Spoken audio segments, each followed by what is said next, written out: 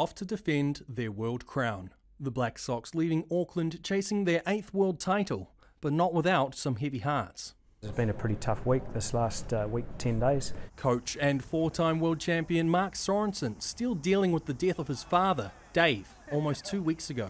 You know, I'm certainly taking him with me. You know, he. Uh, he's been a, a, big supporter of mine, obviously forever. You know, I think we gave him a great send off on Thursday.